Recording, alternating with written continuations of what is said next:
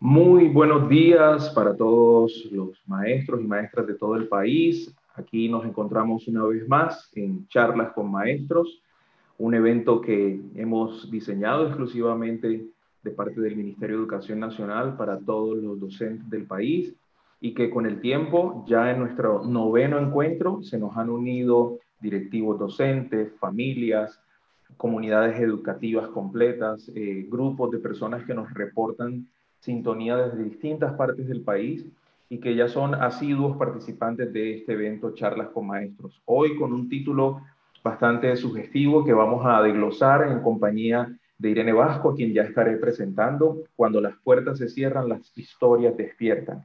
Así que de verdad, bienvenidos una vez más a este evento. Ya empezamos a saludar las regiones que se nos han conectado. Huapi, Cauca, Bucaramanga, La Gloria Cesar, Popayán, Valledupar, Córdoba, eh, Bolívar, Chiriguaná Cesar, Piedecuesta, Santander, Buenaventura, eh, Buga, Neiva, Armenia, Flandes, Ciénaga de Oro, eh, de Córdoba, Chinú, Pueblo Bello, Pelaya, Cesar, Riohacha, Garzón, Huila, Chinchiná, Caldas, Apartaló, Antioquia, Tierra Alta, Córdoba, Quibdó, Chocó, Pibijay, Magdalena, Útica, Cundinamarca, desde San Andrés Islas, que siempre se nos conectan y nos acompañan en este espacio, desde Villavicencio, Itagüí, también desde Santander, desde Cumbal, Nariño, desde Calarcá, Quindío, eh, desde Bogotá, Caicedonia, San Alberto, Cesar, Dos Quebradas, Risaralda, Calamar, Algeciras, Huila, Aguadas, Caldas, eh, Montenegro, Quindío, también de Yopal, de Villa de Leiva, de Salamina Caldas, en fin, de todos los rincones de nuestro país, de la Colombia profunda. Charlas con Maestros, un espacio diseñado para ustedes y que nos ha permitido mm, no solo honrar la labor del, del docente, de cada uno de los maestros, sino también ir brindando cada día herramientas según las reacciones, según los pedidos que ustedes hacen en cada uno de estos encuentros desde nuestro primer encuentro en el mes de mayo, el 8 de mayo, con Diana Agudelo, hasta el último que tuvimos con Héctor Abad, un espacio, eh, un espacio para amar la lectura, para conectarnos con la lectura. Y basándonos precisamente en los comentarios que ustedes hacen en nuestras redes, en las preguntas que nos hacen, pero también en cada uno de esos mensajes que nos van enviando desde el corazón y desde el sentir del maestro, desde la pasión del maestro, hemos ido también así conectando y decidiendo nuestros invitados. Eh, desde cada una de estas reflexiones queremos seguir ofreciendo un espacio para honrarlos, pero también para destacar mucho la labor que ustedes hacen. Reiteramos nuestra inmensa gratitud a todos los docentes del país, una gratitud que realmente nos hace sentir orgullosos de estar en este sector, porque gracias a la labor que ustedes desarrollan y que ya veremos aquí resaltada a través no solo de nuestra invitada, sino también de los videos que acostumbramos publicar en este espacio, podemos rescatarlo. Así que, como ya es costumbre, voy a darle la palabra a nuestra viceministra Constanza Larcón, quien también nos da su saludo inicial. Bienvenidos y bienvenidas a este espacio Charlas con Maestros. Adelante, vice. Edison, gracias. Un saludo nuevamente especial en estos viernes de maravilla. Me uno a un comentario que hacía uno de ustedes, queridos profesores, y es que sí ha sido un espacio maravilloso. Creo que ese es un muy buen calificativo, un, espacio que nos ha permitido poner otros temas de discusión, temas sensibles, temas cercanos. Muchas gracias por la participación, muchas gracias por estar presentes. Y quiero recordar, porque ya son muchos, eh, eh, muchos eh, viernes que nos encontramos. Edison tenía la costumbre, y voy a ir hablando, yo siempre chivaba a Edison en, el, en la presentación, pero pues ya ustedes saben, hoy nos acompaña un ser maravilloso. Irene Edison ya hará la presentación eh, oficial, pero también quiero irle contando en esta lógica a, a, Irene, que es la persona que nos acompaña, es que aquí estamos maestros, estamos personas desde diferentes ámbitos que trabajamos por la educación, pero que en medio de lo que ha sido este ejercicio del aislamiento, hemos podido poner muchas reflexiones y debates importantes en temas educativos. Y, creo que en las últimas sesiones de los últimos viernes, el ejercicio de charlas con maestros ha venido haciendo un giro muy lindo, un, giro interesante. Empezamos mucho hablando del ser maestro. De hecho, simbólicamente empezamos en un mayo y dijimos es el momento de hacer visible, de reconocer, de invitarlos a participar. Hay muchas maneras a través de estos medios virtuales, de estas redes sociales, a participar, escuchando y leyendo lo que ellos nos van escribiendo eh, todo el tiempo. Y fue un mes muy centrado en reivindicar y poner, hacer visible su condición humana, la posibilidad que se tiene para poder entender y comprender todo lo que el maestro le ha implicado a ellos como personas, humanamente desde su condición de maestro, qué le implica a ellos comprender realidades distintas, pero además en esa tarea tan compleja y es siga educando a los niños en medio de esta pandemia. Y eso la verdad pues trajo reflexiones importantísimas y de ellos esfuerzos maravillosos y expresiones de todo nivel, a nivel creativo, a nivel de innovación, eh, toda la voluntad, la vocación de un maestro, además de su capacidad y conocimiento puestos en el escenario. Y entonces empezamos a traer otros temas también muy importantes en lo educativo y ya nos acercábamos también al hacer del maestro. Y en ese ejercicio del hacer empiezan a salir en las últimas sesiones condiciones básicas que son eh, fundamentales para entender el tema de lo educativo ahorita en medio de la pandemia. Y yo quiero hacerte una confesión, Irene, y es que la invitación, el buscarte, eh, si bien eres muy cercana a muchas personas del ministerio, tuvo inspiración en uno de los comentarios de los maestros, que nos escribió de manera muy sugestiva y a nivel como de sugerencia, es por qué no hablar del tema de la escritura también en los maestros. Tenemos mucha inspiración sobre el tema que enseñar y esas preguntas básicas que hoy nos hacemos en lo educativo. ¿Qué enseñar? ¿Para qué enseñar? ¿Con quiénes? ¿A través de qué medios? Y sale entonces una discusión muy bonita en las últimas sesiones sobre volver a lo básico, lo llamamos. Así lo pusimos y entonces nos dijeron, bueno, si superamos o si llevamos además del debate de la conectividad, el debate del acceso a los temas digitales, el acceso al tema del computador, que es vital, es fundamental y en eso obviamente estamos trabajando. Y volvemos a rescatar el ejercicio de la lectura, de la escritura, del texto, de volver a eh, poner en palabras y reconstruir eh, situaciones, experiencias, vivencias. Y sale de ahí entonces esa idea que tú has posicionado mucho del ejercicio de leer es volar. Y entonces decía, claro, esto ha implicado, Irene, muchas cosas de parte de los maestros y es a idear otras formas, a imaginar. Uno diría, tenemos que volver a crear formas de interactuar, a volver a crear formas de pensar y reconocer en el otro, con esta lógica de cuídese y cuídese al otro, ¿qué hay detrás de eso a nivel educativo? Y es toda una postura de construcción de ciudadanía lo que está al frente y uno dice, bueno, y entonces para cosas tan complejas como esa, ¿Qué sería lo básico? Y uno dice, empezar a permitir que los niños y los maestros construyan también sus propias historias, las narren, las escriban, las compartan y sobre eso recreen, innoven, piensen, se creen nuevas formas de, de imaginar y de discursos de la educación, que al final, más que discursos nuevos, son discursos traídos a reflexiones de la práctica. Y entonces lo que nosotros hemos visto es solamente una condición de oportunidad en este ejercicio porque sentimos que las preguntas esenciales vuelven al centro y vuelven al punto vital de lo educativo, la relación con el otro, la interacción, la pregunta por el proceso de un otro de la misma familia o en la interacción de los maestros con los niños. Entonces nos han dicho, nos hemos acercado mucho más a sus familias, los hemos conocido más, Hemos conocido sus historias, sus sitios de vivienda, las condiciones precarias en que muchos viven. Y eso es lo que nos ha inspirado, Irene, todo este tiempo para poder mantener este espacio que yo finalmente lo he, el equipo del ministerio, lo, con el equipo lo valoramos mucho porque casi que es también un descanso para nosotros. No debería ser el espacio, pero nosotros también vivimos muy agobiados de muchas cosas.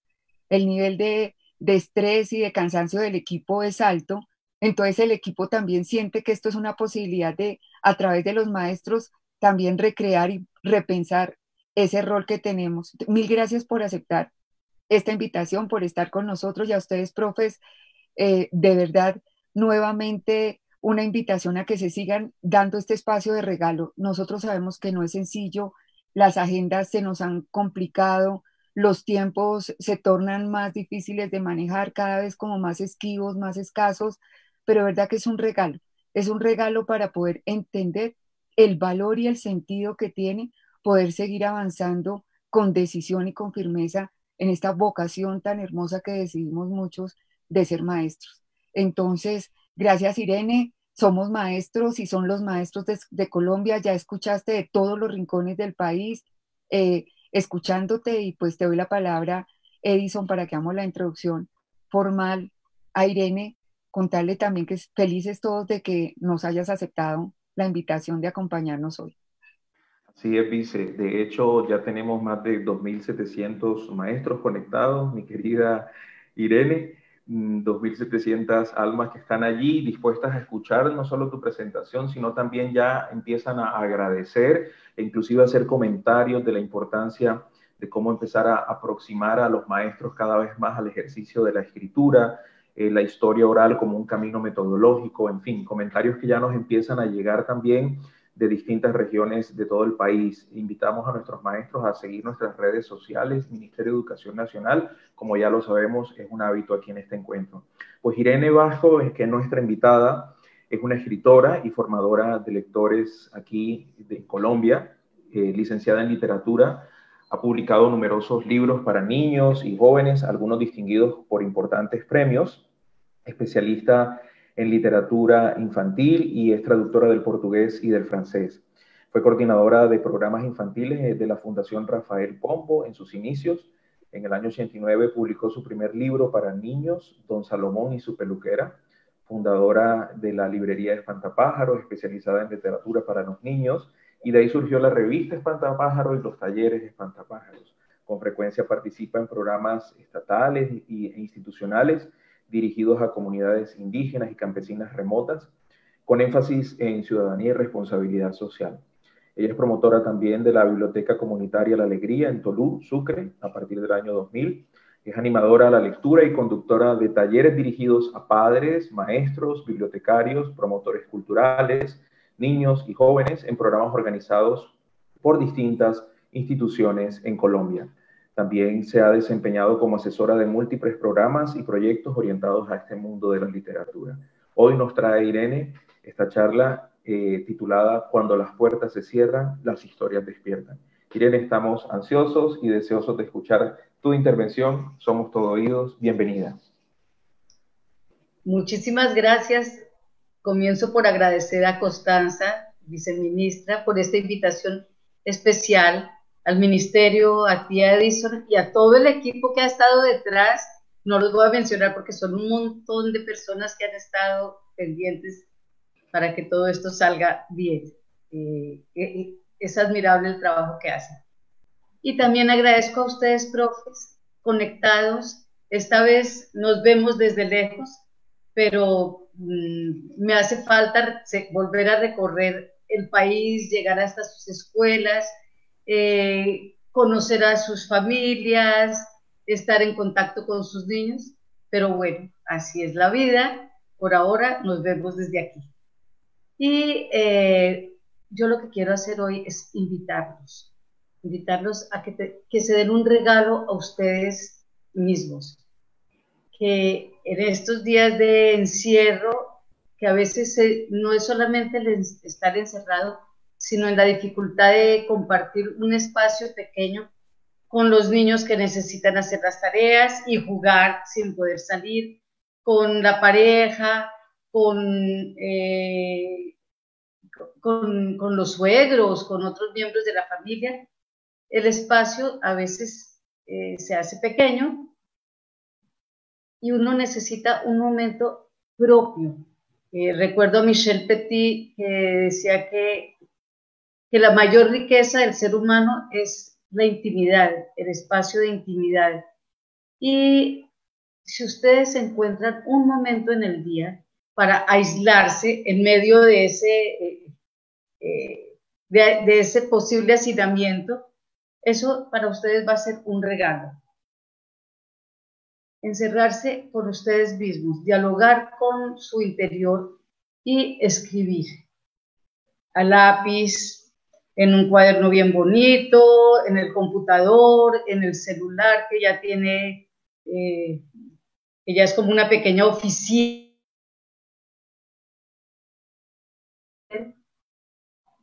Escribir esas historias que ustedes están viviendo. Ustedes han tenido que, eh, la palabra de moda es reinventarse, salir del aula que conocían tan bien, de, las rutinas de la escuela y entrar en un mundo de como el de ahora, como el de este momento, que yo también estoy acostumbrada a hacer talleres reales con personas de carne y hueso frente a mí y ahora tengo que hablar frente a una pantalla sabiendo que están ustedes ahí.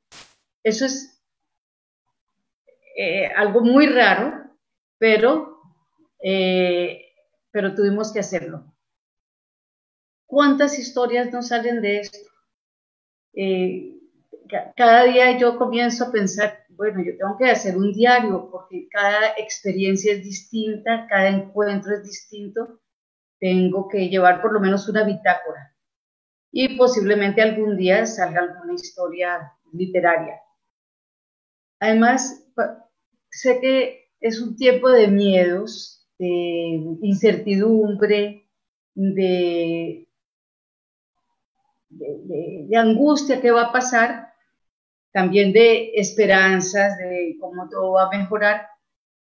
Y a veces tanta emoción nos, eh, nos deprime, mm, no nos deja sentir bien. Cuando uno escribe, tiene que organizar esas emociones, tiene que ponerlas en palabras una tras otra, ordenadas, las ideas, eso también lo aprendí de Michel Petit.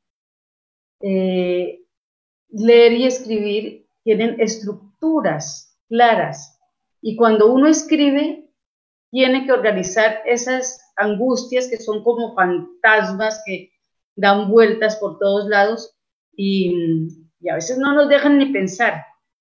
Así que mi invitación, reitero, es a escribir.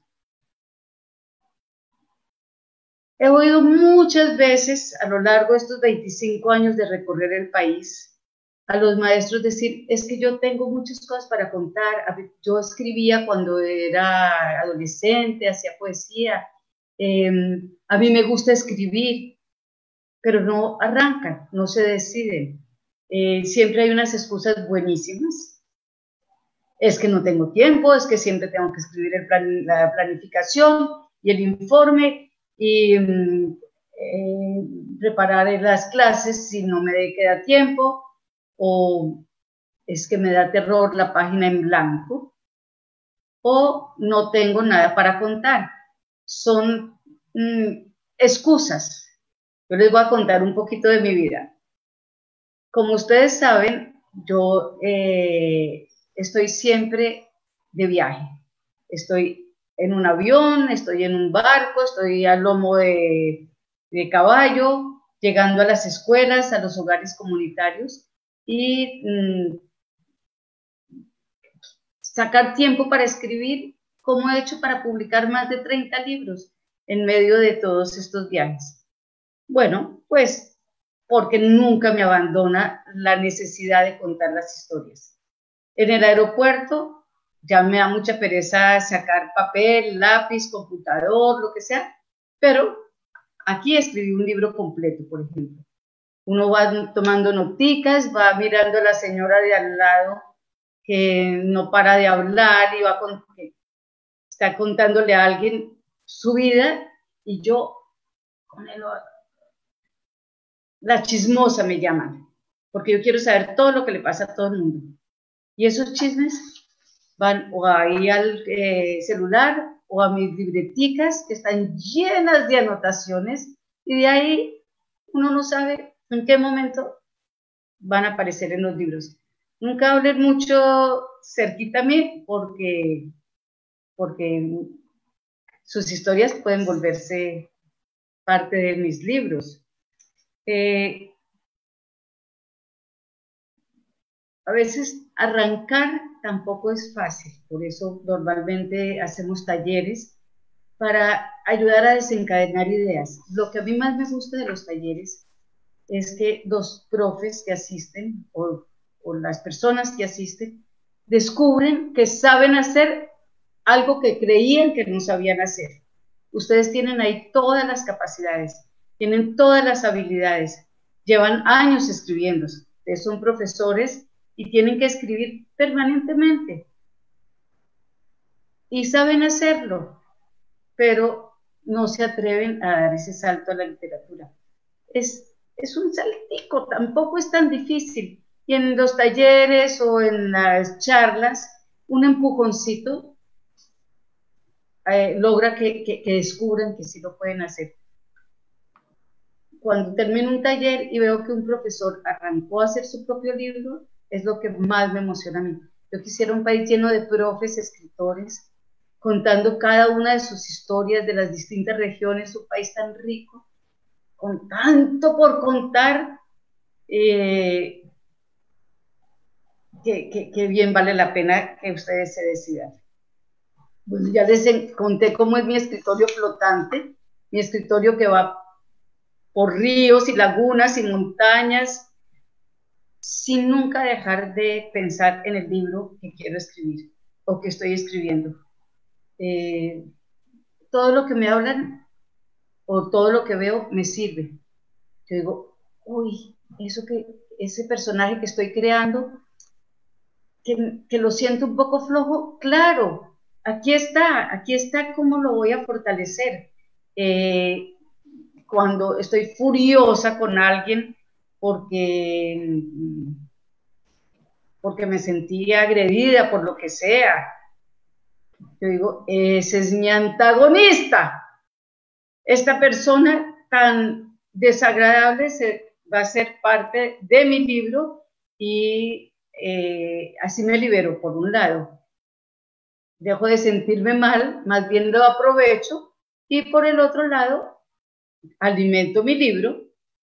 ¿No les parece buenísimo? Es una pequeña venganza, entre comillas, que no es dañina, eh, que limpia, que nos eh, alivia, pero que además nos nutre para nuestro trabajo. Son truquitos que les estoy dando a la hora de escribir. Eh, no sé si a ustedes les funcione este truco que yo uso conmigo misma. Es un poco conductista, lo admito, pero funciona. Yo me tengo que dar premios y castigos. Decir que uno no tiene tiempo, que uno está muy cansado, que esto, que lo otro, es muy fácil. Cuando yo estoy frente al libro que estoy escribiendo y que sé que que estoy trancada en un capítulo que no va, es muy fácil abandonar. Y digo, tengo que hacer una receta especial, tengo que hacer ejercicio, tengo que hacer cualquier cosa para no enfrentarme a ese libro. Bueno, pues yo me doy premios y castigos. Digo, si no escribo dos páginas hoy, no puedo ver la serie de televisión que tanto me gusta y me funciona. Y me, además me disciplino y trabajo y escribo dos páginas aunque no sirvan. Pero es el ejercicio de escribir. Posiblemente al otro día, cuando regrese, veré que esas dos páginas no estuvieron buenas, pero no abandoné el ejercicio y mientras tanto, eso siguió dando vueltas en la cabeza y yo no abandoné mi trabajo. Y además, hablando de dos páginas, para eh, no castigarme. La otra recomendación que yo le doy a, las personas que quieren escribir, y espero que todos ustedes quieran escribir, es que no se pongan metas muy grandes, eh, porque si uno dice voy a escribir una novela, e, es difícil pensar en una novela entera, pero si uno dice voy a escribir dos páginas al día, pero así con regularidad, con disciplina, dos páginas al día, eso no muerde, eso no, no, no agrede, eso es fácil, dos páginas. O bueno, una página al día. Si uno escribe una página al día, en ese regalito de intimidad que se van a dar ustedes, en 30 días tienen 30 páginas. Eso ya es un libro. Yo tengo libros que, que solo tienen cinco páginas, porque son libros para niños. Así que solamente hagan esa contabilidad, ejercicio de matemáticas para profe. Una página al día, un libro al final del mes. O una novela en dos meses. ¿ah? La contabilidad es muy fácil. Espero que se estén entusiasmando con todos estos truquitos. Eh, aquí yo veo, yo miro como cualquier buen estudiante mi copialina, porque si no se me olvida para dónde voy. Yo no quería que esto se volviera una charla tan... Eh, que, tuviera yo que inventarme a cada paso lo que iba a decir. Hay algo que deben considerar. Cuando uno va a escribir, más o menos tiene que saber a quién se va a dirigir. Eh, me voy a eh, dirigir a adultos o a niños o adolescentes, porque no es lo mismo escribir para un niño de 5 años que para un joven de 13 o 14 años. La tonalidad, la estructura, el vocabulario, eh, los temas no, los temas pueden ser iguales para todos. Uno puede escribir sobre los mismos temas, duros, dolorosos, felices, humorísticos, eh, poéticos, lo que quiera, para cualquier edad. En eso no hay que limitarse, pero sí encontrar una tonalidad que le permita comunicarse con el otro, con la edad del otro, porque si no, no va a encontrar lectores. Si yo le doy a un niño de 5 años algo escrito para, con la con la estructura, los personajes, la tonalidad, el vocabulario mm, de 13 años, pues el de 5 años sencillamente no va a entender. Eh, los niños hasta cierta edad necesitan la estructura narrativa clásica, la que viene de la narración oral, principio, nudo y desenlace, porque todavía no tienen sus habilidades lectoras eh, listas para entender una estructura más compleja con personajes eh, que van hacia atrás en el tiempo, que vuelven, que se entrelazan y, viven historias paralelas pero, pero difíciles de, de cruzar. Entonces, eso también tiene uno que tenerlo en cuenta. No es lo mismo escribir para una edad que para la otra. Y desde el principio uno escoger a quién se está dirigiendo. Mi truco es pensar en alguien en particular. Esta historia se la quiero contar a mi nieto Antonio, por ejemplo. Antonio tiene ocho años y va a entender lo que yo estoy escribiendo y le va a interesar lo que yo estoy escribiendo. Este otro libro eh, quiero que lo lea mi nieta Abril, que ya entra a la adolescencia. Tiene que ser completamente diferente la manera eh, describir porque eh, son dos edades distintas. Bueno, truquitos, truquitos. La atención. Es frecuente en los talleres que los, en el primer ejercicio que yo suelo poner, que es el día en que amanecí convertido en cangrejo, que los profes escriban unas introducciones maravillosas, eh, las tenazas, que, al estilo Kafka, al estilo la metamorfosis. Pero mi tarea, la tarea que yo pido es que escriban un cuento, es decir, que tenga principio, nudo y desenlace. Y después de esta eh, introducción deliciosa, suaz, la historia se cae y termina y entonces me desperté. Eso ocurre muchísimas veces. Por supuesto, es un ejercicio rápido en talleres en donde el tiempo es corto y donde uno tiene que improvisar un poco. Pero ahí yo llamo a la reflexión. ¿Dónde está la estructura narrativa? ¿Dónde está el conflicto? ¿Dónde está la tensión? Ese final gratuito no puede ser. Entonces, no olviden que la tensión en el cuento, para mantener eh, eh, la emoción del lector, tiene que estar presente. Esos son otros de los truquitos. Eh, cuando yo escribo, me copio. Y no vayan a creer que es una cosa mala. Yo no me copio igualito como en el colegio, que eso hay que, evitarlo y eso no se puede. Pero me copio de lo que los demás hablan, de lo que dicen y, em, eh, de sus actuaciones y las traduzco a mi manera, las incorporo a mi manera de ver el, el mundo. Y entre tantas y tantas historias que he vivido y escuchado, han sido las de ustedes, justamente las de ustedes, profes, en todos los rincones del país que me han contado, sobre todo con mucha frecuencia los talleres han sido con maestras, no sé por qué mm, esas voces han hablado más, mm, las que más me han contado los profes, mm, hombres son un poco más callados y revelan menos, entonces son las mujeres profes que me han contado sus historias y copiándome de ellas nació un libro que es dedicado a ustedes, que quisiera eh, que miráramos un poquito.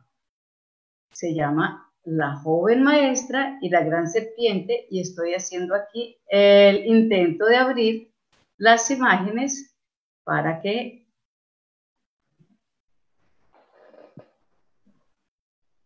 Ay, por favor, no se preocupen que yo ya casi voy a ser capaz de hacer esto.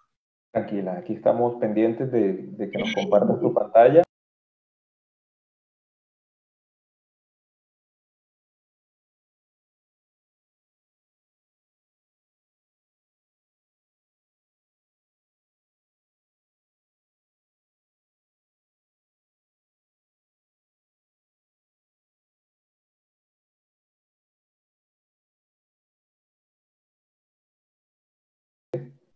Gracias, Edison, por ayudarme. Esta es la parte que me pone más nerviosa. No, no, no. Quiero dejar de hacer porque, eh, gracias, ahora Fabuloso. Ahora colócale modo presentación y ahí vemos todos. Mil gracias. Dale. Listo. Bueno, profesor. Esta es una historia que escribí hace mm, ya como cuatro o cinco años, dedicada a ustedes, después de haber recorrido muchos ríos y de haber llegado a muchas escuelas muy, muy lejanas. Y se llama La joven maestra y la gran serpiente. Y es dedicada a ustedes, profes. Y en la dedicatoria dice que para los profes colombianos, que son ustedes, que han eh, estará la dedicatoria, porque se me olvidó cómo es la frase exacta y quiero decírsela. Aquí está. Para las maestras latinoamericanas que todo lo dejan por perseguir el sueño de la educación. Y también está dedicado para los hermanos mayores, sabios cuidadores de las palabras, de las aguas y de la vida. Porque es una historia entre eh, una joven maestra que va de la ciudad y que llega a una comunidad indígena muy lejana en el Amazonas. A propósito, ahí es un truco de escritora que les voy a contar. Imagínense que yo escribí aquí donde estoy, frente al mar, en Tolú, escribí ese libro a mano, en mi libreta, ahora les muestro cuando deje de compartir pantalla. Y eh, mi manuscrito dice que la joven maestra llega al Putumayo, al río Putumayo, y yo sé llegar al río Putumayo en, distintos vehículos. Pero por el camino, la editora española que no conoce el país me dijo, Irene, pero sería más interesante el Amazonas, que es más eh, universal, más conocido y además la preocupación por eh, la tala del río, eh, de, los bosques, entonces cambiamos para, la, para el Amazonas. Y les voy a leer cómo comienza. Un, bueno, la segunda página. Un sábado muy de madrugada se montó en un autobús rumbo al Amazonas.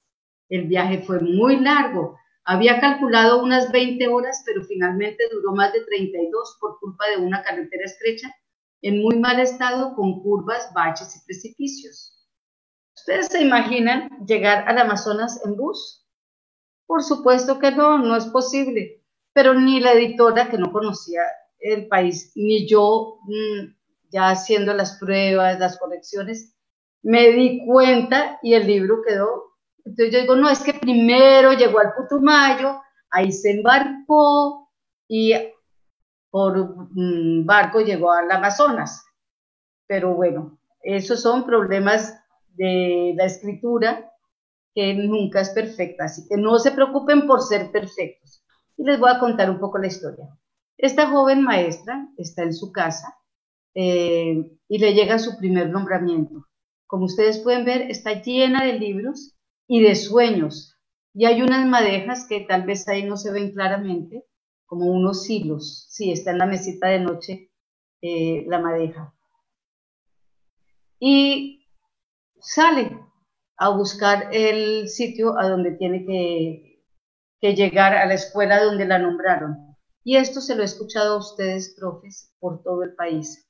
Es que en mi primer nombramiento eh, me sentí perdida yo creía que ese sitio donde me tenía que ir era en tierra fría y me llevé ropa bien abrigada. Y cuando llegué allá era el sitio más caluroso del mundo. Y tuve que conseguir ropa fresca y adaptarme porque yo soy malísima para el calor, me oí alguna vez. Y además fue terrible el primer año tuve que aprender a poner cosas debajo de la puerta, trapos, porque se entraban las serpientes y tuve que volverme valiente porque las arañas, eh, y además yo no entendía lo que hablaban allá porque era un sitio indígena, eh, con una lengua distinta, una comunidad indígena. Bueno, son todas historias oídas a ustedes y copiadas por mí. Y sale esta muchacha a recorrer el país hasta llegar al río Amazonas. Y ahí ustedes ven que es una gran serpiente. Y se alcanza a ver el ilustrador Juan Palomino, tengo que darle el crédito porque él hizo una interpretación maravillosa de mis palabras y le dio una vida enorme. Ahí se ve la tala de los bosques, está el camión eh, y, las maderas, espero que lo alcancen a ver.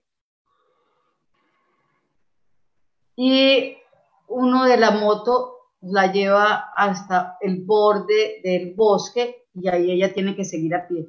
Esta parte me la copié de mí misma. Eh, yo he recorrido todas estas partes lejanas cargando mis libros a cuestas.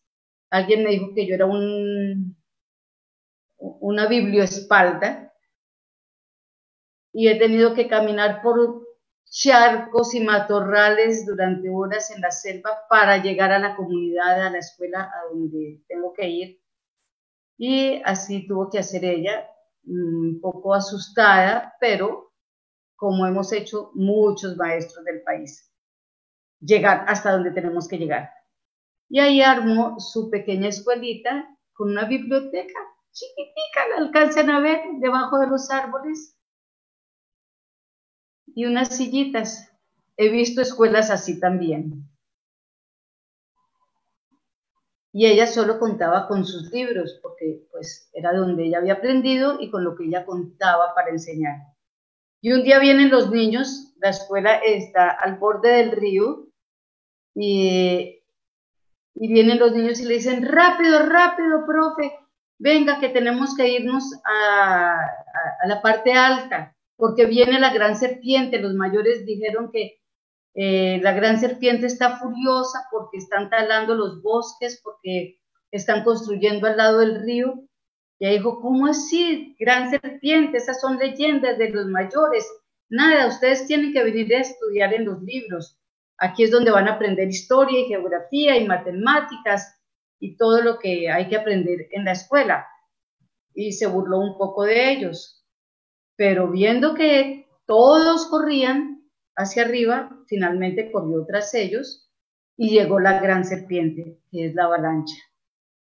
La avalancha que se tragó todo, se tragó las casas, las chocitas, los libros, y eso fue terrible para ella, porque al otro día estaba desconsolada. Ella decía, ¿yo qué hago sin libros? Pero la gente, la comunidad, se reunió alrededor del fuego como ha hecho milenariamente. Lo que nos convierte en seres humanos es esta reunión entre palabras, palabras que nos unen. Ella no entendía lo que hablaban los mayores, pero los niños le traducían mm, y entró por fin a la comunidad, al calor del fuego. Su, verdadera eh, entrada a este universo. Ahí los eh, mayores contaron sus leyendas y ella escuchó atentamente, pues escuchó la traducción de los niños y como ella estaba tan, pero tan triste por haber perdido los libros, se sentía desconsolada, decía, no sirvo para nada, yo no puedo trabajar sin libros.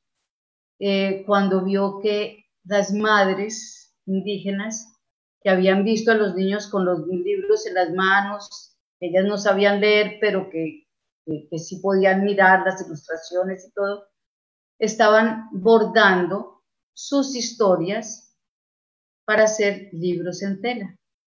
Y ahí ella entendió cuál era su rol, cuál era eh, su encuentro con los demás y decidió quedarse mucho más allá de lo que de la obligación del nombramiento, no, quiso irse más, eh, se enraizó, aprendió la lengua y siguió enseñando. Ahí yo cierro mi presentación. Aquí estoy hace dos años en un programa del Ministerio de Educación, llevándole libros a la comunidad NUCAC en el Guaviare. Y colorín colorado, esta historia dedicada a ustedes, profes, se ha terminado. Y espero que les haya gustado porque es mi homenaje a ustedes, mi homenaje y mi invitación a que no dejen que sea, seamos nosotros los que nos copiemos de sus historias, a que sean ustedes los protagonistas, los que las cuenten, las que encuentren sus palabras, tantas y tantas historias por contar. Eh, le voy a preguntar a Edison, porque no tengo ni idea cuánto tiempo llevo ni cuánto tiempo me falta. ¿Tienes 15 minuticos? 15 minuticos más. Sí. Bueno. Entonces regreso a mi, eh, a mi copialina. Adelante. Estas son otras recomendaciones que les quiero hacer. Antes de empezar, hay que hacer ese examen de conciencia eh, sobre las intenciones. Ya les hablé para quién escribir, quién es su interlocutor, eh, con quién se está comunicando. Otra, eh, otra cosa para tener en cuenta es quiénes son sus personajes.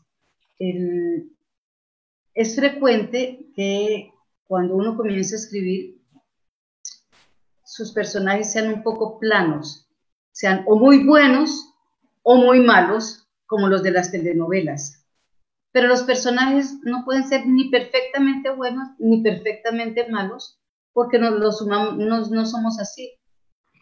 Yo trato de ser buena, pero a veces, eso lo puede decir mi nieto mayor, Emiliano, a quien adoro, a quien mm, el mayor de mis nietos, pues se pueden imaginar, pero quien ha recibido los gritos más feos de su abuela y siempre nos burlamos. Él dice que yo soy como un monstruo cuando me pongo brava. También soy mala. No puedo ser buena todo el tiempo y ustedes tampoco.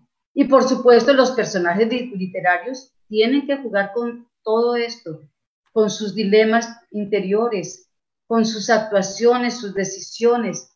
Entonces no vayan a caer en el estereotipo de no, es que es una dulce niña y, todo es bondad y todo es perfección, porque esa dulce niña tiene dudas, tiene preocupaciones, tiene actuaciones. Hay que cuidar eso.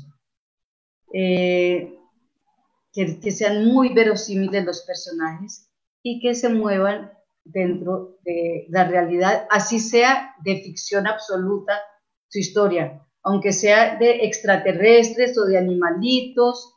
Finalmente los personajes lo que están es reflejándonos a nosotros, a los seres humanos. O si no nos, no nos interesaría. Leemos porque nos encontramos dentro de esos personajes, con sus dudas, sus angustias, sus deseos, sus esperanzas la literatura lo que hace es contarnos quiénes somos como seres humanos. Entonces tenemos que escribir para interesar al otro, revelándonos de esta manera. Una recomendación a veces para darle ritmo a las historias, los diálogos son muy interesantes.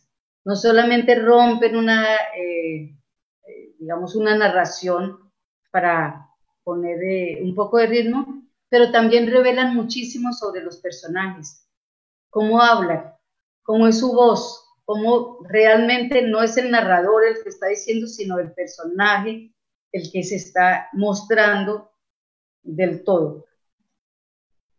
Y algo muy, muy importante que no puedo dejar de, decirles. ¿Qué es lo que quieren transmitir? Porque es muy peligroso caer en el juego de los mensajes de los valores.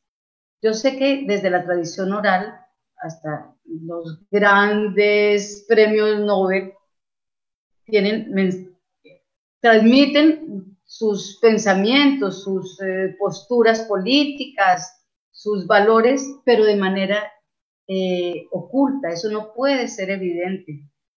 Eh, sabemos que los que Caperucita Roja es castigada porque se portó mal, pero eso no, puede ser explícito. El lector tiene que sacar sus propias conclusiones. Si yo le estoy dando la respuesta al, al lector diciéndole, por eso es que tal cosa, la historia pierde totalmente su validez. La literatura es arte y como obra de arte tiene que tener una interpretación absolutamente libertaria. Cada cada lector tiene que sacar sus conclusiones y el escritor no le puede revelar eso. O si no, no, sería algo abierto a múltiples interpretaciones, quedaría cerrado a una sola interpretación y eso no es literatura. Entonces, cuidado con las moralejas, con los valores, incluso cuando ustedes estén eh, transmitiendo esto al aula, invitando a los niños a escribir, eh, proponiendo ejercicios de aula para que crezcan como escritores. No les vayan a,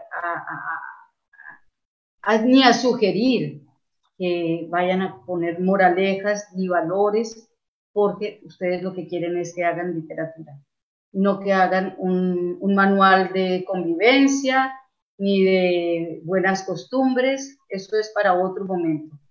La literatura tiene que mantenerse libre de, estas, eh, eh, de estos juegos. Los niños inmediatamente entienden que ahí hay un engaño, que hay algo escondido y deja de interesarles y buscan algo que realmente les hable a su interior. Eh, bueno, yo creo que el tiempo se está acabando y yo no quiero dejar... Tengo muchos más consejitos, podría seguir hablando por horas. Estoy habituada a los talleres de seis horas y no de un ratito. Quiero leerles... Ah, perdón, Puedes continuar dando consejos porque solo hay palabras de gratitud con respecto a estos tips que estás dando y, tenemos todavía nueve minutos, así que puedes seguir enriqueciendo este espacio. No sé si dice, creo que estás de acuerdo conmigo, porque creo que es el momento en el que están los maestros más eh, dando gracias por estos consejos, ¿no? Bueno, no, pero los otros no son tan, eh, tan, tan importantes. Y aquí quisiera hablar de este libro un momentico, porque son otros eh, eh, otros momentos más relacionados con la, con la vida actual, con la vida del encierro. con Quédate en casa. Este libro, que escribí hace algunos años, se llama La Gran Barca y es una parodia del Arca de Noé. ¿Qué es el Arca de Noé? Es un momento mm, bíblico, no tiene nada que ver con religión. Yo no hago eh, alusión a la religión porque, porque es literatura. Eh, y en la gran barca, los, eh, el señor Noé, la señora Noela y sus tres hijos tuvieron que encerrarse a vivir una cuarentena con una pareja de cada animal. Ustedes se imaginan lo que es ese encierro, esa pandemia en algo tan chiquito como una gran barca, el universo entero ahí encerrado. Entonces quiero leer un pedacito de este libro para ver cómo la literatura se aplica a la vida real y al revés. Capítulo 1.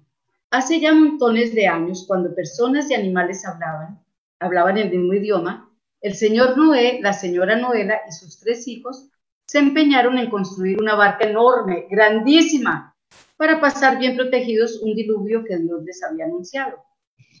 Es importante que una pareja de animales de cada especie suba a la barca, pues quizá en la tierra no sobreviva nadie para repoblar el mundo. Le ordenó Dios a Noé. No demoren mucho en la fabricación de la nave, pronto mandaré las primeras gotas de lluvia. El aguacero durará 40 días y 40 noches. Esto lo escribí hace muchos años y, la Biblia fue escrita hace muchos más años, pero por eso se llama cuarentena, porque son 40 días y 40 noches. La tierra será inundada durante este tiempo. Noé y su familia inventaron diseños, consiguieron los mejores materiales, trabajaron día y noche. Mientras Noé construía el inmenso navío, la señora Noela se ocupaba de las compras, que no hay que negarlo le encantaban. Buscaba sábanas, almohadas, cobijas, toallas, sillas, mesas, vajillas, cubiertos, vasos, ollas y sartenes y hasta instrumentos para que durante las largas semanas de encierro siempre hubiera música. Pregunto, ¿en las casas de ustedes hay música durante este encierro? Tiene que haber, pero ojalá que no a todo volumen, porque yo ahí sí me volvería la peor señora del mundo. Eh, parodiando a Hinojosa porque no soporto la música dura. Tiene que ser bien bajito y solo la que me guste. Así que me volvería un personaje insoportable en una casa donde hubiera mucho ruido. Ningún detalle de la vida confortable olvidó la señora Noela. Incluso se esforzó en conseguir floreros, cuadros y otros adornos para darle un aspecto amable a aquella nave donde tendrían que vivir tantos personajes por tanto tiempo. Igualito a lo que estamos viviendo. Ah, pónganse ustedes en el lugar del arca de Noé y vean que no es nuevo esta, esto de los tiempos modernos. Bueno, me voy a saltar un poco el capítulo 2 porque, eh, porque no me da tiempo de leer todo el día, pero quiero llegar a las reglas del juego. Porque la señora Noela, tan previsiva, a cada pareja le entregó las reglas del juego. Bienvenidas todas las parejas de animales, están en su casa. Para que la pasemos bien durante esta temporada de diluvio universal, los invitamos a estudiar detenidamente estas instrucciones y a seguirlas al pie de la letra cualquier infracción será motivo de expulsión inmediata. ¿Ustedes se imaginan que a uno lo expulsen del arca de Noé? Está en la mitad del diluvio, en la mitad del océano. Se ahoga enseguida. Entonces uno se tiene que portar bien. ¿Qué hacen ustedes en sus casas? ¿Van a expulsar al que ponga la música duro? Bueno, yo no sé si expulsaría al otro o me expulsaría a mí misma. Lo que puede hacerse en la gran ser amable con todos, enseñarles juegos y canciones y contarles muchos cuentos. Así yo pasaría muy bien la pandemia. De hecho, eh, mis nietos que están regados por ahí, lejos, tienen que conectarse conmigo porque soy su abuela y mi, obligación es transmitirles eh, las tradiciones, las palabras, las historias, o si no, no sería una buena abuela. Y, eh, y les cuento cuentos por aquí, por este medio, cuentos de lejos, además cuentos buenísimos que me echan eh, aquí en la vereda sobre brujas y sobre duendes y a ellos les encanta, por supuesto. Bueno, otra regla, asistir a fiestas y eventos organizados por la señora Noela, todos dentro de la barca, nada de salir de casa, todo, todo adentro. Aquí hay otra regla que yo no podría cumplir, compartir golosinas y otros tesoros escondidos. Yo no creo que yo pudiera cumplir con esa regla. ¿Y ustedes? Este es muy importante. Dejar los baños y las áreas comunes siempre limpios. Imagínense que cada persona que entra al baño va dejando su rastro. No, no, no, no, no, no. Que todo le toque a la señora Noela limpiarlo. No, no, no, no, no, no, no todos somos responsables de cuidar la casa. Y este, este no es tan difícil porque no somos tantos, tantos, tantos en cada casa. Tener paciencia mientras se reparte la comida. Lo que no puede hacerse en la gran barca, asustar a los más débiles y mucho menos comérselos. Bueno, aquí yo también tendría problemas de convivencia en la gran barca, porque uno de mis deportes favoritos es perseguir zancudos, pero esa es una especie. Y en la gran barca yo no tendría derecho a que en mitad de la noche cuando me hacen yo haga así. Me toca soportar a la otra especie porque es prohibido mm, maltratar a las otras especies. Eh, tampoco se pueden practicar silbidos, rugidos y otras expresiones animales en hora de descanso. No se puede salir de las habitaciones en caso de enfermedad. Hacerlo únicamente para dirigirse a la enfermería. A la enfermería. Bueno, esto está escrito. No crean que me lo estoy inventando porque estamos en plena pandemia. Es que es, eso se cae de su peso. Uno no puede salir a contagiar a nadie. Quedarse en casita y solo ir al médico en caso de absoluta emergencia. Cada vez que, vuelvo a leer este libro me sorprende más cómo se adapta a los tiempos modernos. Utilizar las áreas comunes para practicar deportes extremos. Es decir, esto está entre lo que no se puede. Porque no vamos a montarnos en la patineta en el corredor de la, del apartamento y suaz atropellar a todo el mundo, tumbar el florero. No, deportes extremos mientras estemos en casa hay que verlos por, por eh, videos. Y bueno, y así siguen las reglas, los horarios de desayuno, de almuerzo, de comida. Yo ahora incluiría los horarios de hacer las tareas de los niños, de jugar con ellos y de trabajar. Y de que los niños aprendan a, a que los padres también tenemos horarios y que necesitamos eh, hacer lo que estamos haciendo ahora, que es su espacio íntimo. Y que si se encierran, y no hablo de, encierro de paredes, sino se encierran en ustedes mismos un ratico al día, 15, 20 minutos a escribir.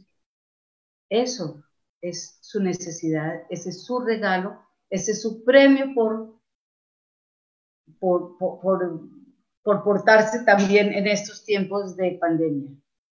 Bueno, y con esto yo devuelvo la palabra. Quiero despedirme de todos, agradecerles, invitarlos mi sueño es que haya bibliotecas por todo el país y que haya maestros escritores por todo el país.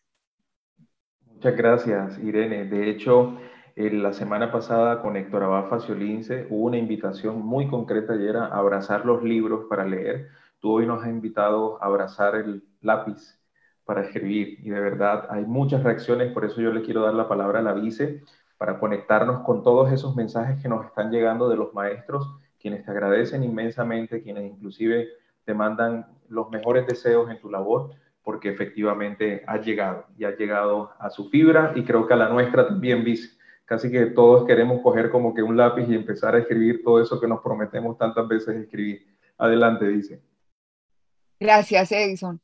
Bueno, Irene, gracias, gracias. Eh, yo solo parafraseo lo que dicen los, los profes por el, por el chat, pero pues eh, no todas las veces tiene uno la posibilidad de tenerte a ti al frente. Edison hace referencia a todos estos mensajes de gratitud. Muchos también reportan que han estado en talleres contigo, que te conocen, te mandan saludos, pero yo me quiero ir un poquito por aquello. Tú nos das una lección hoy, y algo que considera uno de tanto nivel de complejidad como es em, escribir, eh, tú nos invitas a que algo que es tan difícil lo volvamos fácil y lo hagamos paso a paso. Eh, evidentemente entras hablando de algunas técnicas eh, conductuales y entonces algún profesor reacciona diciendo pues que cuál es el problema de usar técnicas conductuales. Entonces evidentemente tiene toda la razón, es un tema de enfoque, sirve y hace uso y se puede hacer uso de ellas en estos espacios. Aún así, pues yo quiero irme también un poquito por lo complejo y es que hay una línea importante de comentarios muy sentidos de los maestros ahorita que van en la siguiente línea y unos hacen referencia a entender con el mensaje tuyo ese valor sanador que tiene la escritura y evidentemente esa posibilidad de entrar y escribir es sanador eh, y es como el primer paso para resolver, para resolver también un tema de conflictos internos propios, pero para ayudar a resolver y lo pone en ejercicio de, su práctica y de relacionamiento con los niños. Pero en esa misma, en esa misma línea, para que nos ayudes como hilando una, un comentario tuyo, pues porque es más, eh, más que una pregunta, son planteamientos que ellos hacen. Dice, además de ver ese valor sanador, viene otro tema y es cómo luchar contra tanto, en tanto estrés y tanto trabajo. Yo te decía al comienzo, evidentemente, esto ha sido un ejercicio muy retador para los, los profes. Esto nos llevó a tener que crear tantas nuevas cosas que requieren más tiempo, no es la misma dinámica y no es que ellos estén quietos repitiendo todas las veces lo mismo, pero ya hay unas costumbres, unos estilos, unas formas que ya tenían rutina, que ya hacían parte del proceso y eso les permitió organizar más el tiempo. Hoy evidentemente esto desbarajusta cotidianidades, rutinas y esto genera estrés, hay presión también de en muchos casos sobre reportes de los niños, sobre niños que no están asistiendo, niños con que no se pueden conectar. Entonces eso le pone una dosis de tensión y de estrés a su proceso complejo y entonces ellos dicen, ¿cómo luchar contra tanto estrés y tanto trabajo y poder sacar tiempo y aterrizar nuestra voz interior y escribir algo de lo que nos gusta, de lo que vivimos y de lo que experimentamos. Y evidentemente en eso, que es algo muy crítico y es algo, digamos, que nos obliga a todos a revisarlo, hacen referencia, aquí deben estar convocadas en este ejercicio ya del que te voy a plantear, hay que llamar a muchos más actores, las escuelas normales, las facultades de educación, las escuelas de posgrados tienen que ayudarnos también como a esta gran transformación, porque te decía al comienzo, la pandemia nos está dejando una gran posibilidad de poner en la agenda, hoy acá en la mesa, directamente en la agenda pública, tantas eh, deudas y al decir de algunos, tantas preguntas que hay por lo educativo. Y entonces hay un cuestionamiento importante cuando se invita y se le ve todo el valor a la tal como lo, lo, nos lo explicas, a la escritura, que va desde el rigor literario, para entender también que aquí hay una acción y una intención clara, formativa y de estructura, pero también ese valor sanador y esa posibilidad que tiene la escritura también como una salida en un momento tan fuerte y tan agobiante que estamos viviendo, pero también la tensión misma que el sistema genera cuando ante tanto planes de estudio, tanta rigidez curricular, eh, tanta compromiso en desarrollo de, eh, de informes y de formatos y esa rigidez propia que acompaña al sistema educativo no facilita ni promueve ni, facilita tampoco que la escritura se vuelva un elemento central en el proceso formativo y autoformativo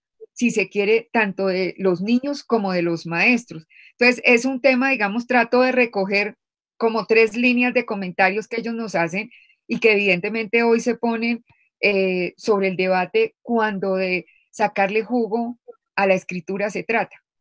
Ahí hay un paquete, digamos, de, de, comentarios, de preguntas, de, y otro poquito mío también metiéndole acá por los retos que eso le requiere al sistema de cuando hablamos de flexibilizar esto para poner a la, a la escritura como uno de los valores, posibilidades, herramientas y sentidos casi fines en sí mismo de lo educativo. Y sobre eso entonces queremos escucharte, como sobre esos, esa, esa primera parte. Son como tres paquetes de, de comentarios y de preguntas, pero esa primera. Bueno, eh, yo creo que eh, lo primero que yo dije y, y traje eh, a la mesa a Michel Petit es la parte sanadora de, de la escritura, de la lectura y la escritura. Yo recuerdo que en alguno de sus libros ella dice que cuando trabajó con jóvenes migrantes a Francia que, tenían grandes problemas emocionales de desarraigo, de adaptación, de lengua, de todo, lo que más les ayudaba a ellos era ese proceso de leer y escribir porque les ayudaba a ordenar. Esa organización organiza los sentimientos y las emociones. No solamente organiza eh, un relato, sino organiza el interior. Eso a mí me parece sanador. Sanador también es ese momento de intimidad en donde uno se desconecta de todo ese, eh, eso que tú has mencionado y que no voy a repetir porque lo vivimos yo menos que ustedes por fortuna, pero que se, se, vive en todo el país y en el universo, porque no somos los únicos encerrados. Eh, tener un momento, así sea encerrado en el baño, con su celular, eh, escribiendo, escribiendo eso que, voy a usar una palabra fea, como vomitando lo que le pasó a uno en el día. Esas anotaciones de, esas emociones, y de esas eh, o rabias o felicidades o pesos transcritos, para comenzar, alivian. Pero por, por el otro lado, también es material literario. Cuando todo vuelva un poco a la calma y haya más tiempo, esas notas se van a volver eh, los nutrientes de un posible trabajo literario y las historias de este encierro van a florecer. No solo habrán sanado en su momento, en ese día en que uno está así, sino eh, será, será como un florecer de la literatura en Colombia, pienso yo. Y ya se me olvidó cuál era la otra parte.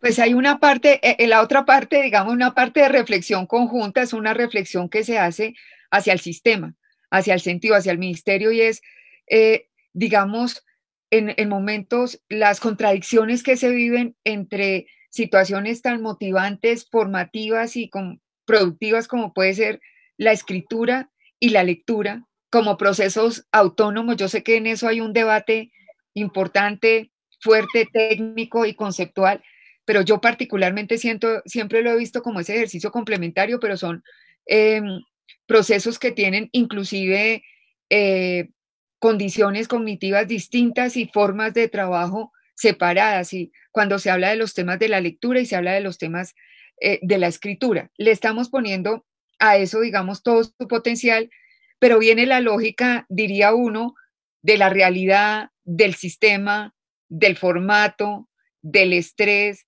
de toda la cantidad de, de agendas, si se quiere, diaria en esa lógica curricular, el, la competencia, el trabajo obligatorio, eh, lo que toca hacer para cumplir con el currículo y demás. Y en eso nosotros desde el ministerio, y es bien interesante entrar en estos diálogos con los maestros, porque ahí, ahí compartimos, digamos, una responsabilidad muy grande también y viene una reflexión fuerte que la sacan los maestros y pues eh, eh, me parece legítimo también traerla directamente acá y ponerla porque evidentemente es, se, torna absolutamente contradictorio, no facilita, no permite y sabemos que es un reto también en ese ejercicio. Yo no sé si en ese caminar tuyo por el país claramente te encuentras con esos sentires también de los, de los maestros. Aunque tú nos has dejado claro también el tema del momento, ¿no? Esto no necesita tampoco que uno tenga ni el gran espacio, ni el editor, ni la gran, sino es un ejercicio de acercamiento inicial también desde lo cotidiano, pues para no volverlo desde el otro lado totalmente imposible, desde un ejercicio que nos invitas con el celular, pensando cuando se entra al baño, en ejercicio de, de hacerse uno amigo de la escritura. La escritura que uno coge para uno, la escribe, la lee, de, de golpe gusta y se guarda y de golpe no gusta y se vota y se piensa en una nueva idea. Esa puede ser. Entonces, ¿cómo, ¿Cómo armonizar? Es más bien el ejercicio, en una lógica también donde está esa cotidianidad del sistema, pero también está la riqueza y la posibilidad misma de la escritura. Sí, no, yo pienso que eso es una, una algo individual, que ahí no hay recetas, ni fórmulas, ni, ni modelos. Este, y, y por eso yo hablo como un regalo a uno mismo yo sé cómo es la vida. Eh, tú me cuentas algo que yo he oído muchísimas veces a todos los profes, es que yo no puedo porque tengo que hacer la planeación y tengo que escribir el informe y tengo que preparar la clase y tengo que corregir eh, los cuadernos y tengo que... Siempre hay un tengo. Todos tenemos muchos tengos, pero también hay el componente del miedo a la página en blanco, el miedo a lo desconocido, que es natural, a todos nos da miedo. Yo, me meto al mar aquí todos los días y lo conozco desde que soy niña, pero cada día, cuando voy a entrar y doy el primer paso en la primera ola, tengo miedo de lo desconocido. Y es natural, pero también doy el segundo paso y el tercero, y ya disfruto de un maravilloso baño de mar. Entender esos pasos y, eh, desarmarnos de esos miedos y encontrar ese momento de regalo, pero es que no tiene que ser eh, muchísimo tiempo, es un momentico. Yo siempre tengo, voy a contar una anécdota sobre eso. Cuando tú me invitaste, y hablamos el lunes, y muchísimas gracias. Ha sido una semana muy bonita pensando en este encuentro. Me pediste un título y cuando a mí me ponen una tarea, para mí se vuelve... No puedo dejar de pensar en eso. Pero yo sé que si solamente eh, estoy tratando de escribir un título, no me va a funcionar. Entonces me fui para la hamaca. Dije, es la hora de la siesta, me voy a leer y llevaba el celular eh, a la mano en, ese, en, esa función en que uno puede escribir. Y yo leía y tomaba notas. Aquí tengo todos los apuntes como de 20 títulos que escribí a la hora de la siesta mientras leía. Yo no estaba escribiendo, estaba leyendo. Eh, y salió en alguna parte de mi libro y entonces abrió la puerta, entonces yo dije, puerta me sirve. Y en otra salió para, eh, estoy buscando toda aquí, cosecha de historias. Mira todos los títulos que tenía. Cosechas, de aquí están escritos. Cosecha de historias en el jardín de la pandemia. Eh, palabras liberadas, a la conquista de las palabras, días de encierro, historias que vuelan libres y cajones de las palabras, un montón pero era mientras yo leía y descansaba en la hamaca. No era el computador a ver cuál es el título que tengo que mandar. Eso da vueltas en la cabeza. Y en un momento dado, se, uno tiene ya la necesidad, necesita contar todo eso. Eh, y ese es el regalo, es que yo hablo de un regalo, del momento, Ustedes no saben el placer que da después encontrarse con esos regalos escritos. Que, eh, que uno diga, yo fui capaz yo pasé por encima de todo esto, de todo, y yo sigo insistiendo, son miedos más que eh, obstáculos reales. Uno puede ponerle todos los nombres, pero es el terror a lo desconocido. Gracias, Irene. Yo le propongo a, Edison lo, siguiente. Yo hago tres comentarios también en un ejercicio y antes de que Irene, porque están muy relacionados con el tema de hoy, Edison, de nuestro, de nuestro video. Entonces, porque es el tema hacia el otro lado. Una, uno de los temas que hemos visto ahorita es la, posibilidad de la escritura y el lugar que puedo eh, ocupar para un maestro.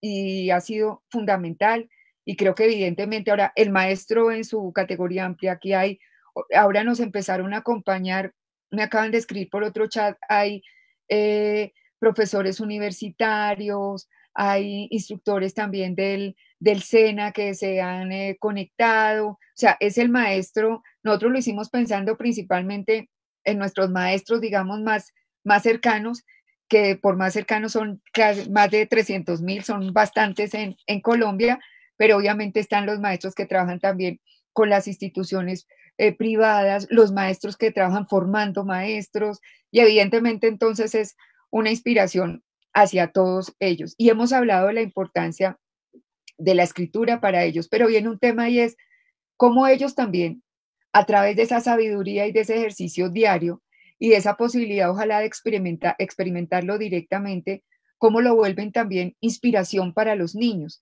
Entonces hay varias preguntas donde te dicen a ti, donde piden que nos ayudes un poco a entender qué hacer, qué hacer también un maestro, además de esos compromisos que estamos haciendo entre todos para mirar cómo nos volvemos más amigos de la escritura, la sentimos más cercana y le perdemos miedo y dejamos de pensar que eso es algo allá exótico solo de ustedes, los que escriben tan bonito y los que inspiran tanto, sino que uno también dentro de su eh, posibilidad también puede escribir lindo y cosas muy bellas para uno, para uno mismo y que uno sea su propio lector, ya sería suficiente audiencia, pero ellos dicen, excelente motivación para empezar a escribir, pero ¿cómo podemos también sobre esto incentivar para que los niños, además en esta condición, y fue una, un comentario también que salió en la sesión pasada, una profe también nos decía, ¿cómo hacemos para acercar más a los niños a la escritura? ¿Cómo hacemos para enamorarlos a ellos también? ¿Cómo hacemos también para que desde el Estado pues se supla obviamente mucho más o se permita más el acceso a textos, a libros, a literatura, que obviamente también de eso, de eso parte, está lo escrito, pero también el acceso al material y de dónde eh, de dónde sacamos, digamos, historias un poco, que yo creo que la condición está, pero cómo enamoramos y enganchamos a los niños para que ellos también sean parte de esta experiencia de la escritura y para que ellos también hagan de esto una posibilidad de aprendizaje. En general, digamos, hay eh, varias preguntas sobre eso y yo ya le daría la palabra, pues, para que Edison mire si entra primero eh, Irene, si vemos el video, si el video creo que es un perfecto ejemplo. Okay.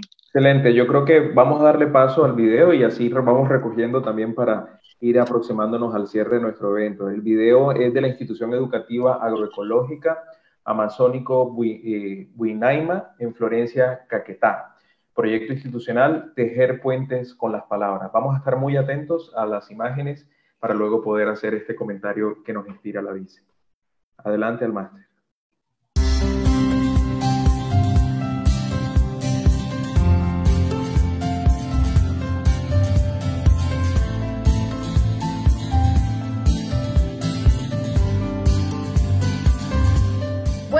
Estudiantes de la institución educativa agroecológico amazónico Buinaima. Hoy es viernes, viernes de poesía buinaimista y les traigo un libro que me gusta bastante, se llama Chamario, es un libro de rimas, Soldadito de plomo. Recostado sobre el lomo de un diccionario sajón, un soldadito de plomo miraba televisión. Descansaba por un rato de alguna guerra infantil lejos de todo maltrato y a solas con su fusil. Tal es el cuento que tomó de un libro sin colofón que un soldadito de plomo escribió en mi corazón. Hasta el próximo viernes, buinainistas, que pasen un feliz fin de semana en familia y bueno, invitarlos a que se sigan cuidando. Hoy es viernes de poesía y les traigo el siguiente poema denominado Ítaca. Su escritor Constantino Cadafis. Cuando te encuentres de camino a Ítaca, desea que sea largo el camino, lleno de aventura, lleno de conocimientos. A los lestringones y a los cíclopes, al enojado Poseidón no temas, tales en tu camino nunca encontrarás. Y si pobre la encuentras, Ítaca no te engañó. Así sabio como te hiciste, con tanta experiencia, comprenderás ya qué significan las Ítacas. Bueno estudiantes, feliz día y nos vemos el próximo viernes.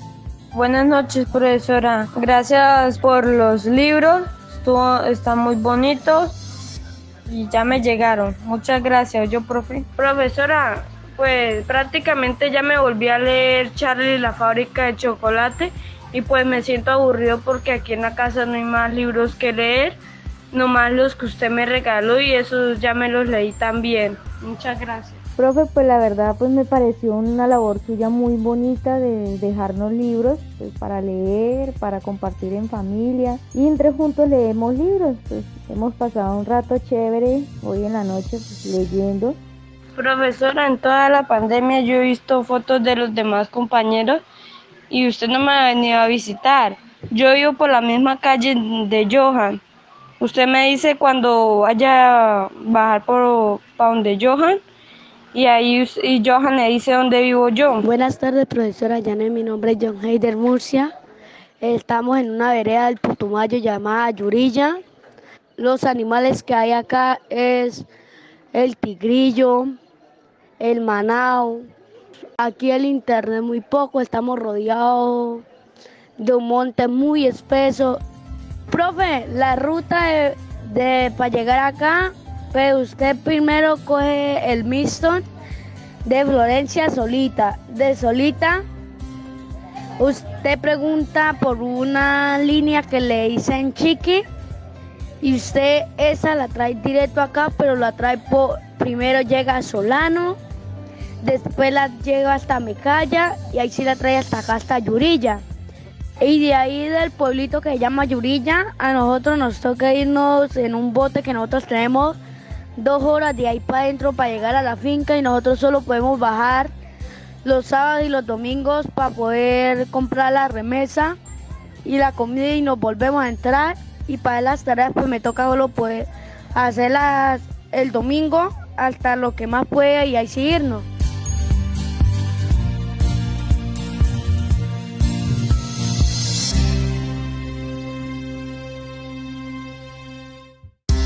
Muy bien, creo que nos queda claro cómo llegar a Yurilla, vice. Irene, nos queda muy clara la descripción, pero qué, qué, increíble cómo las palabras, que si las llegamos a poner por escrito, nos hacen imaginar todo ese recorrido a todos, ¿no? De acuerdo. No sé si Irene, precisamente en la línea de la vice y del comentario de la vice, nos, nos complementa precisamente. Sí, es que eh, cuando eh, Constanza habló de cómo llevar al aula, yo pensé, pues el perfecto ejemplo es eh, lo que hace la profesora Janet Chávez allá en el Caquetá. Eh, como me imagino que está ahí, felicitaciones porque eh, yo admiro tantísimo ese trabajo que es hecho con medios distintos, los niños con video, pero todo muy sencillo, con, mezclando expresiones, artes plásticas, el río pintado, el el barquito que se mueve, como en una escenografía teatral, todo artesanal, todo eh, trabajo mm, eh, infantil, pero, pero que adquiere una calidad de obra de arte increíble. Y ejercicios para llevar al aula hay por montones. Eh, generalmente cuando yo hago el taller invitando a escribir a los profes, lo complemento con los ejercicios para que proyecten eh, al aula. Pero eso es otro taller y ahorita no creo que me pueda extender. Pero, pero hay muchas, muchas actividades divertidas, creativas, inspiradoras para que escribir sea un placer y no un no una tarea que le van a corregir con rojo, porque es lo que más aleja de la escritura. Cuando a mí mis profesores me marcaban con rojo, señalando solo los errores de gramática y ortografía, sin pensar en toda esa imaginación, eh, los personajes creados, la estructura, etcétera.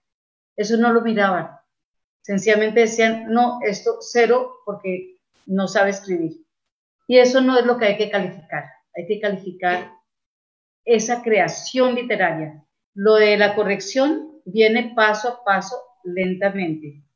Eh, cuando hago ejercicios con maestros, generalmente vienen con muchos errores, pero yo no me detengo en los errores, les digo, profes, tienen que mejorar, tienen que mejorar, porque por un lado son maestros que tienen que transmitir la corrección gramatical, ortográfica de la lengua castellana, pero por otro lado, ustedes también tienen que crecer como escritores. Entonces, los profes no están exentos de los errores, pero sí es lo casi, con mucha frecuencia, casi que es lo único que miran en los trabajos de sus estudiantes. Hay que darle la vuelta, como esa eh, forma de leer antigua que por fortuna se ha ido eh, desmontando de leer para el examen de comprensión de lectura y personaje principal y personaje secundario con una única respuesta correcta, que es la que el estudiante cree que el profesor está esperando y que eso no conducía a formar lectores. Ahora eh, ya los profes entendieron que hay que formarlos leyendo en voz alta, haciendo foros, entablando diálogos, buscando otras maneras eh, de, de, ir al fondo del texto. Igual con la escritura, hay que buscar la parte de, de, expresarse y la corrección eh, va en segundo lugar. No es, no es que no sea importante, la forma es importante, pero primero es la creación. Primero es la creación.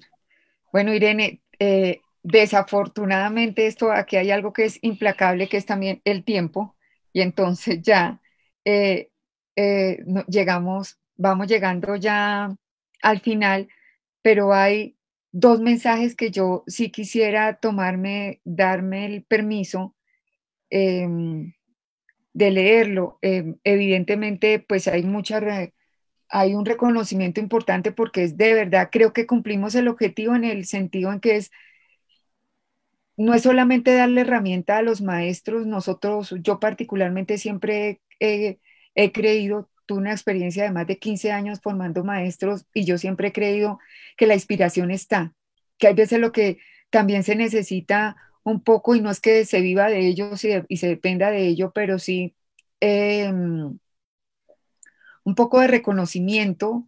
Y cuando el reconocimiento, entendiendo no porque alguien venga y me diga que qué bien lo está haciendo, sino un poco también de compañía en ese proceso y en ese caminar propio de los, de los maestros. Eh, pero evidentemente ellos hablan de eh, y hay un tema, alguno de ellos dice que como la experiencia ha sido tan enriquecedora, Ani Guevara nos, dije que, nos dice que ojalá se puedan hacer charlas también para padres de familia y para, para estudiantes, o sea, espacios de estos de encuentro y de acercamiento. Eh, lo estamos eh, pensando, ya la estructura y la estrategia para trabajar con padres de familia ya está montada. Este era un mensaje también en su momento y muy seguramente de la otra semana les comentaremos para que nos ayuden cuando haya las posibilidades, las condiciones. Los mejores mensajeros para las familias son ustedes, pero obviamente lo facilitaríamos también nosotros para hacerlo, acompañarlo y orientarlo y traer esas voces que claramente ustedes como maestros serían nuestros inspiradores em, centrales para hablarles a las familias y a los, y a los niños. Entonces, quería sobre eso acatar la, la recomendación Em, evidentemente les mandan ellos mismos. Lucía Platero dice, estoy llorando, los maestros son una pasión y un reconocimiento a todos los, los docentes, porque es de verdad, es una voz de, de entender, de hacer como un pare en ejercicios y en momentos que han sido tan duros, tan difíciles, en condiciones de no pandemia, el trabajo del maestro ya es bien retador, pero en condiciones también de aislamiento y con tanta responsabilidad y tanto compromiso, se nos vuelve muchísimo más retador y ha sido difícil y ha sido desgastante. Entonces, para ellos, nuevamente, gratitud, reconocimiento, decirles que de parte nuestra estamos pues mm, convocando y tratando de llamar a seres que han trabajado toda la vida alrededor de los maestros, que son maestros que tienen una vida entera de experiencia para contar y compartir con ustedes. Y ese ha sido como el punto central que hemos querido siempre compartir en estos viernes. Quiero darle el agradecimiento a Irene, decirle que a diferencia de lo que ella nos dijo desde el lunes, el tiempo era escaso, entonces decía, ay, pero es bastante tiempo. No, no es bastante tiempo, siempre quedamos corticos, muchísimas más cosas. Vamos a hacer una, una, un, como una copia de los mensajes de los maestros, porque hay muchos que son para ti directamente, evidentemente, y te los, te los mandamos para que los tengas, porque hay mucha información, digamos, de, de, sitios del país concretamente. Yo le decía a Edison que había maestros que decían, por favor, nómbrenos que también estamos desde acá. Un maestro desde el Cauca nos decía, desde este, desde este espacio, que por favor que los, los nombráramos y pues claro, son muchos, no nos daría el tiempo para eso, pero con esto, Edison, cerraríamos. Irene, mil y mil gracias a ti, de verdad que inspirador, muy inspirador escucharte en nombre de los maestros, eh, todo el reconocimiento, gracias y ojalá dentro de pronto nuevamente estés recorriendo rincones del país y acompañándolos directamente en esta aventura de escribir y de leer que hoy también nos dejas con amplia inspiración. Muchas gracias, Edison, y ya creo que podemos ir, cerrando. Sí, Vice, muchas gracias. Y gracias, Irene, de verdad, de todo corazón. Yo me uno a las palabras de la Vice y de verdad agradecerte, y lo manifiestan así los maestros. Yo quiero cerrar con, con el saludo a Almaguer Cauca, es precisamente el docente que me decía la Vice, un docente que desde allá nos decían, acá somos Colombia también. Pero una maestra escribió lo siguiente, los maestros somos como un baúl de experiencias, que si las escribimos, pintamos todo el país. Yo creo que con esta frase yo quiero ya cerrar y agradecer la participación de todos los docentes. Hoy 4.900 docentes de todo el país estuvieron conectados. También quiero hacer una invitación especial ya en este cierre y es invitarles a la cita a las 10 a.m. de la mañana, Escuela de Liderazgo para Directivos Docentes Viernes de Liderazgo, hoy con un invitado muy especial, un encuentro sincrónico, el primer encuentro sincrónico de la Escuela de Liderazgo con el profesor Reimers de la Universidad de Harvard, Educación para la Ciudadanía Global, una oportunidad para el liderazgo hoy. Así que quedan todos los directivos que también participan de este espacio invitados a ese evento 10 AM por nuestras mismas redes sociales. Maestros y maestras, muchas gracias por apuntarse una vez más a charlas con maestros. Nos vemos el próximo viernes 7 y 30. Irene, gracias. Vice, gracias. Así que nos vemos la próxima.